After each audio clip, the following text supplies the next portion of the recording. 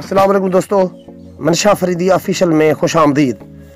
کچھ ماہ قبل ڈیرہ غزی خان، چوٹی زرین کا مزدور صدام ملغانی بلوچ دبئی میں خودکشی کے نتیجے میں جاں بھاک ہوا، جس پر میں نے صدام سے متعلق چند ویڈیوز اپنے اسی یوٹیوب چینل پر اپلوڈ کی تھیں۔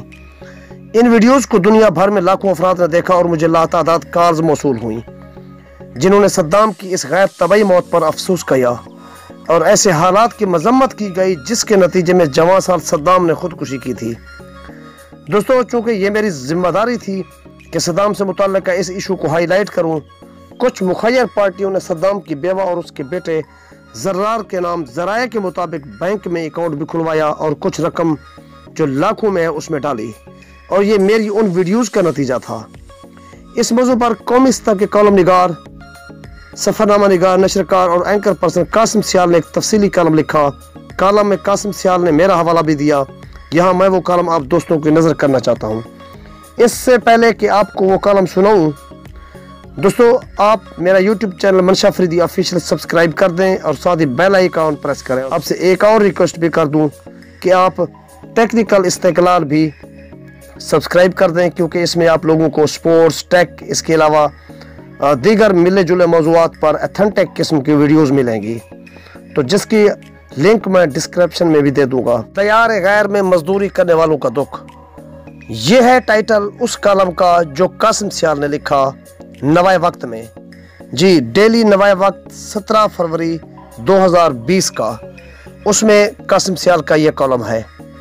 اس نے کہا، آج میرے دوست بھی جان جائیں گے جب وہ میرے پاس ملنے آتے تھے۔ تو میں ان سے کھانے کا نہیں پوچھتا تھا، کیونکہ کبھی میں فاقے سے ہوتا، کبھی کبھی کھجور کھا کر گزارا کرتا اور جب کبھی کچھ آٹا ہوتا تو اس میں دانستان نمک زیادہ ڈال دیتا تاکہ سالن کی کمی پوری ہو سکے۔ اور بعض اوقات تو سوکھی روٹی پانی میں بھگو کر نرم کر کے پیٹ کا ایندھن بھرتا تھا۔ میری تنخواہ آٹھ سو درم تھی، جبکہ کچھ رقم دوستوں سے قرض لے کر گھر بابا کو بھیجتا تھا اور اسی وجہ سے اس وقت میرے ایک دوست کا مجھ پر پچیس سو درہم قرض واجب الادا ہے۔ مگر ہر ماہ میرے بابا کا مجھ سے تقاضا ہوتا کہ رقم زیادہ بھیجو۔ وہ میرے بھائیوں کو کہتے تمہارا بھائی ہمیں سارے پیسے نہیں بھیجتا۔ اس نے بہت کچھ ہم سے چھپا رکھا ہے اور یہ امیر ہو جائے گا اور تم لوگ غریب رہ جاؤ گے۔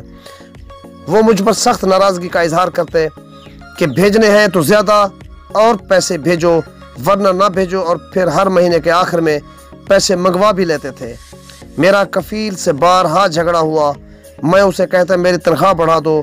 جواب میں وہ مجھے غلیظ گالیاں دیتا، میں بلوچ قوم سے ہوں اور میری غیرت اس بات کو گوارا نہیں کرتی کہ میں کفیل کے الفاظ دہراؤں اور وہ میری ہر بار تنخواہ بڑھانے کی درخواست رد کر دیتا۔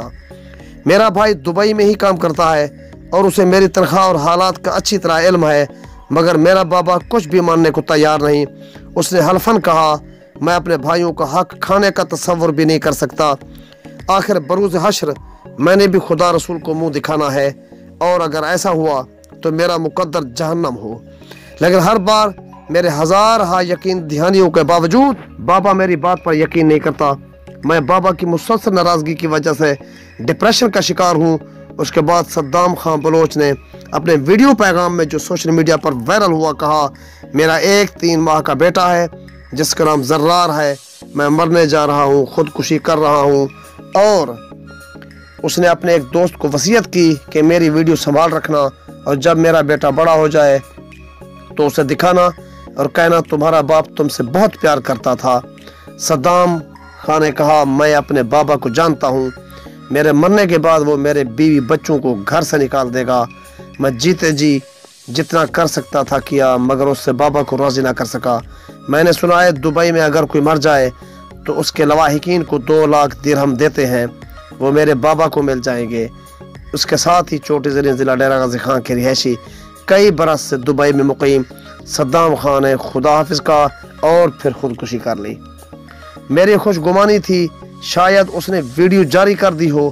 اور اسی دوران کسی دوست، عزیز، رشتہ دار نے اسے اس انتہائی قدم اٹھانے سے روک دیا ہو، میں نے تصدیق مزید کے لیے اس بستی میں مقیم صحافی منشا فریدی کو فون کر کے اس واقعے کی تفصیل اور تصدیق چاہی۔ تو دوستوں دیکھیں، قاسم سیال نے یہاں پر اپنے کالم میں میرا نام لکھا، میرا حوالہ دیا، میں اس پر ان کا انتہائی شکر گزار ہوں۔ پتہ چلا اس کا تو جنازہ بھی ہو چکا ہے۔ یہ افسوسناک حادثہ کئی حوالوں سے فہم و ادراک رکھنے والوں کے لیے نئی سوچ کے در وا کرتا ہے۔ وہ لوگ جو سمجھتے ہیں دیار غیر جانے کی دیر ہے، پیسہ ہن کی طرح برسنے لگے گا۔ لوگ یہاں اپنے مال، مویشی، ڈھور، ڈنگر اور زیورات بیچ کر اور کچھ لوگ سود پر پیسے لے کر دیار غیر جاتے ہیں کہ وہاں جانے کی دیر ہے۔ پیسہ کمانا کوئی مسئلہ نہیں۔ جو زمین کا ٹکڑا بیچ کر جا رہے ہیں، وہ دوبارہ خرید لیں گے۔ پکا گھر بن جائے گا۔ اپنی اور گھر والوں کے مقدر بدل جائیں گے۔ مگر وہاں جا کر جب حقیقت کا سامنا کرنا پڑتا ہے، تو صورتحال ایسی ہولناک ہوتی ہے۔ وہاں ایک کمرے میں آٹھ دس لوگ رہتے ہیں اور قسم پرسی کی زندگی گزارتے ہیں۔ یا البتہ ان کے لواحقین ان کے بھیجے ہوئے نوٹوں پر خوب عیاشی کرتے ہیں اور ہمارے سامنے کئی ایسی مثالیں ہیں کہ جب وہ کئی برس غیر ممالک میں لگا کے اور ہر ماہ گھر والوں کو پیسے بھیج کر واپس آیا اور یہاں کوئی کام، کوئی کاروبار کرنے کے لیے گھر والوں سے رقم دینے کا کہا۔ جو خود بھیجتا رہا تھا، تو پتہ چلا کچھ بھی بچ نہیں پایا۔ سب پیسے اللہ تللو میں اڑا چکا ہے۔ ان کے پاکستان میں رہنے والے بزرگ، لوائقین، یہ سمجھتے ہیں کہ وہاں درختوں پر نوٹ لگتے ہیں۔ پیسہ کمانا بہت مشکل ہے۔ برادری میں ایک دوسرے کا حسد مقابلہ بازی جیسا کہ شاید اس کیس میں ہوا ہے، وہ بھی برباد کر دیتی ہے۔ ضروری نہیں آپ کے کسی رشتہ دار نے کوئی جائیداد خریدی ہے۔ تو آپ بھی خریدیں ہو سکتا ہے اس کی آمدنی کے ذرائع کچھ بہتر ہوں۔ اگر آپ اپنے بچے پر اس حد تک دباؤ بنائیں گے، اس پر بد اعتمادی کا اظہار کریں گے، جو آپ کے لیے پردیس میں روکھی سوکھی کھا کے جنگل سارا اور ریت کے ٹیلوں میں اپنی جوانی کے ایام ضائع کر رہا ہے، تو اس صورت میں نتیجہ اس طرح بھی ہو سکتا ہے۔ اس میں ایک پیغام اپنے بابا کی خوشنودی حاصل کرنے کا یہ بھی ہوا کہ صدام نے اس لیے خودکشی کر لی کہ اس کے بابا کو اچھی خاصی رقم اس کے مرنے پہ مل جائے گی اور والد بھی ایسا جس سے اسے یہ بھی توقع نہیں کہ اس کے بعد وہ اس کی دیکھ بھال کرے گا، بلکہ اس کا یقین ہے کہ اس کے بچوں کو گھر سے بے گھر کر دے گا۔ البتہ یہ اس کے والد کے لیے افسوسناک خبر ہوگی کہ شاید خودکشی کرنے کی صورت میں لواحقین کسی رقم کے مستحق نہ ٹھہرائے جائے اگر ایسا ہو تو اس کے والد کو افسوس بیٹے کے مرنے کا یا رقم کے نہ ملنے کا زیادہ ہوگا۔ اور آخری بات، نوجوانوں میں بھی لگتا ہے صبر اور برداشت کی کمی ہوتی جا رہی ہے۔